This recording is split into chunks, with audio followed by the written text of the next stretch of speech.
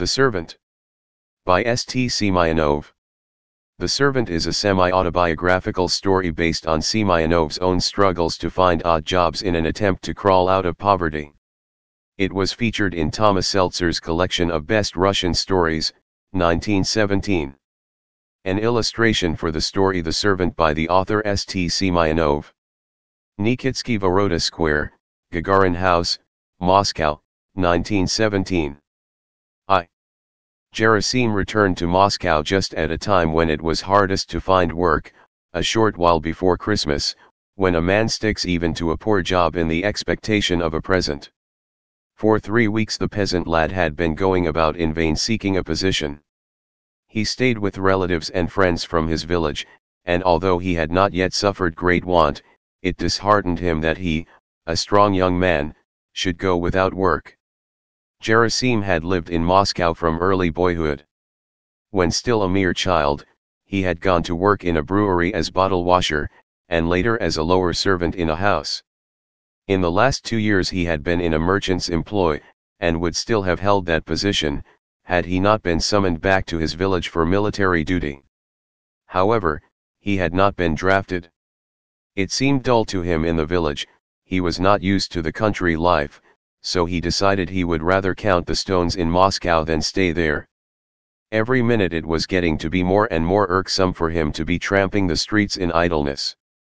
Not a stone did he leave unturned in his efforts to secure any sort of work.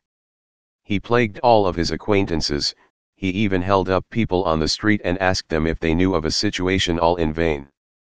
Finally Gerasim could no longer bear being a burden on his people.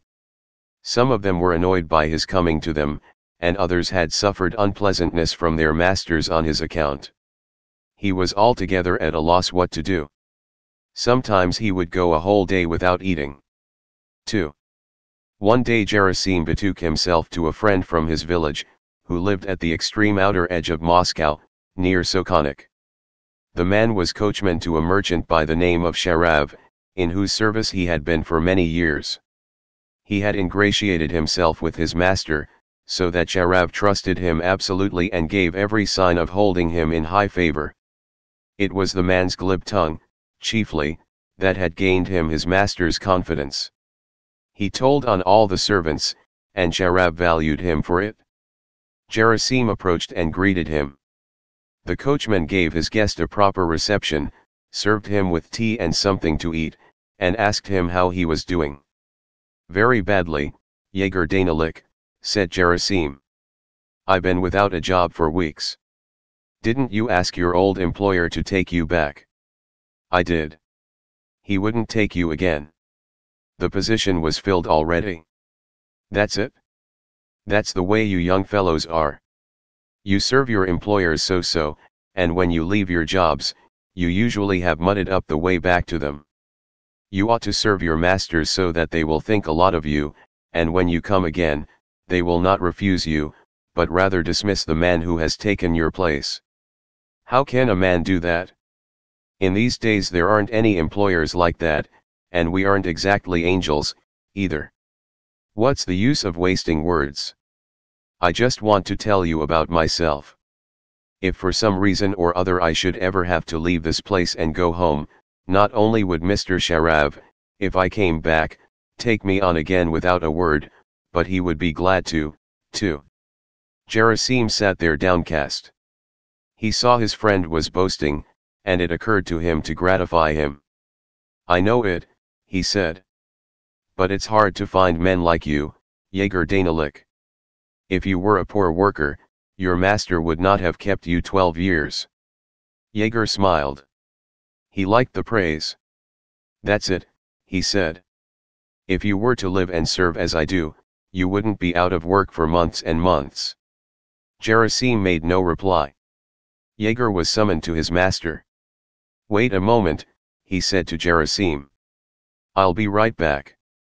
Very well. 3. Yegor came back and reported that inside of half an hour he would have to have the horses harnessed, ready to drive his master to town. He lighted his pipe and took several turns in the room. Then he came to a halt in front of Gerasim. Listen, my boy, he said, if you want, I'll ask my master to take you as a servant here. Does he need a man? We have one, but he's not much good. He's getting old, and it's very hard for him to do the work. It's lucky for us that the neighborhood isn't a lively one and the police don't make a fuss about things being kept just so, else the old man couldn't manage to keep the place clean enough for them. Oh, if you can, then please do say a word for me, Yegor Danilych. I'll pray for you all my life. I can't stand being without work any longer. All right, I'll speak for you. Come again tomorrow, and in the meantime take this 10 kopeck piece. It may come in handy. Thanks, Yegor Danilych. Then you will try for me? Please do me the favor. All right. I'll try for you. Gerasim left, and Yegor harnessed up his horses. Then he put on his coachman's habit, and drove up to the front door. Mr. Sharav stepped out of the house, seated himself in the sleigh, and the horses galloped off. He attended to his business in town and returned home. Yegor, observing that his master was in a good humor, said to him, Jaeger Fyodorik, I have a favor to ask of you. What is it? There's a young man from my village here, a good boy he's without a job. Well. Wouldn't you take him? What do I want him for? Use him as man of all work round the place. How about Polikarpich? What good is he? It's about time you dismissed him. That wouldn't be fair. He has been with me so many years. I can't let him go just so, without any cause. Supposing he has worked for you for years. He didn't work for nothing. He got paid for it. He certainly saved up a few dollars for his old age. Saved up? How could he? From what? He's not alone in the world. He has a wife to support, and she has to eat and drink also. His wife earns money, too, at day's work as charwoman. A lot she could have made. Enough for kvass. Why should you care about Polikarpich and his wife? To tell you the truth, he's a very poor servant. Why should you throw your money away on him? He never shovels the snow away on time, or does anything right and when it comes his turn to be night watchman, he slips away at least 10 times a night. It's too cold for him. You'll see, someday, because of him, you will have trouble with the police. The quarterly inspector will descend on us, and it won't be so agreeable for you to be responsible for Polikarpich. Still, it's pretty rough.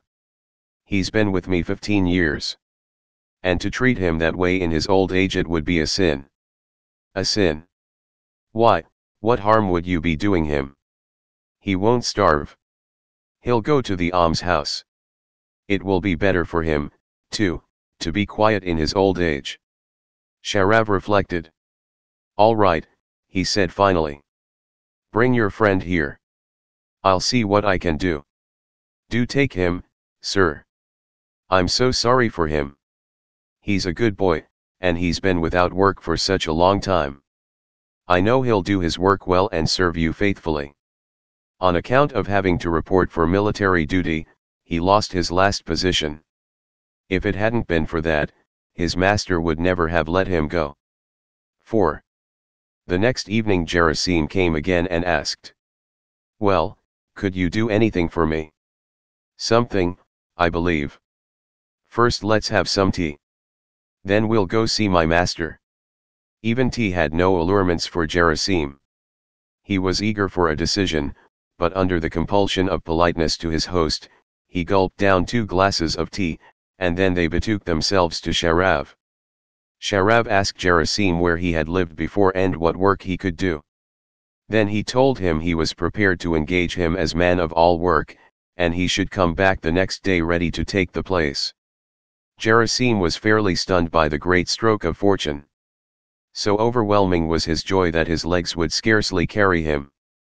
He went to the coachman's room, and Yegor said to him.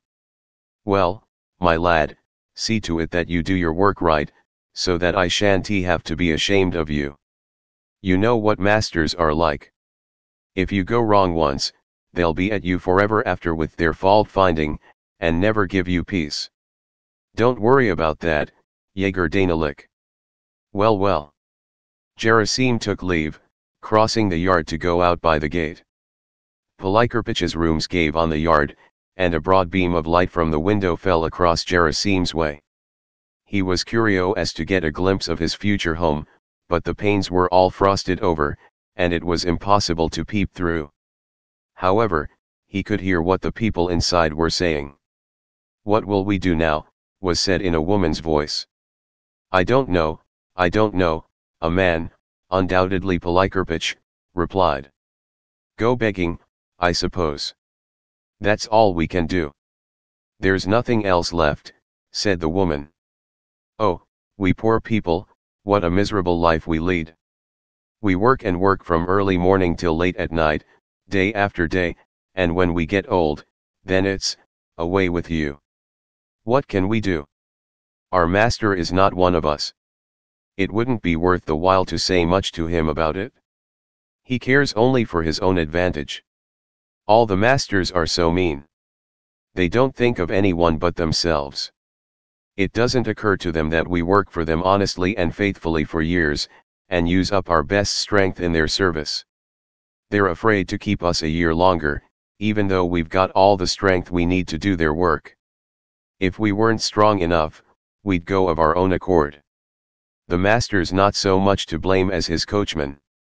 Yegor Danilych wants to get a good position for his friend. Yes, he's a serpent. He knows how to wag his tongue. You wait, you foul-mouthed beast, I'll get even with you. I'll go straight to the master and tell him how the fellow deceives him, how he steals the hay and fodder. I'll put it down in writing, and he can convince himself how the fellow lies about us all. Don't, Old woman. Don't sin. Sin? Isn't what I said all true? I know to a dot what I'm saying, and I mean to tell it straight out to the master. He should see with his own eyes. Why not? What can we do now anyhow? Where shall we go? He's ruined us, ruined us. The old woman burst out sobbing. Gerasim heard all that, and it stabbed him like a dagger he realized what misfortune he would be bringing the old people, and it made him sick at heart. He stood there a long while, saddened, lost in thought, then he turned and went back into the coachman's room. Ah, you forgot something. No, Yegor Danilych. Gerasim stammered out, I've come listen I want to thank you ever and ever so much for the way you received me and and all the trouble you took for me but I can't take the place. What? What does that mean? Nothing. I don't want the place. I will look for another one for myself. Yegor flew into a rage. Did you mean to make a fool of me, did you, you idiot? You come here so meek try for me, do try for me and then you refuse to take the place. You rascal, you have disgraced me. Gerasim found nothing to say in reply. He reddened, and lowered his eyes. Yegor turned his back scornfully and said nothing more. Then Gerasim quietly picked up his cap and left the coachman's room. He crossed the yard rapidly, went out by the gate, and hurried off down the street. He felt happy and light-hearted.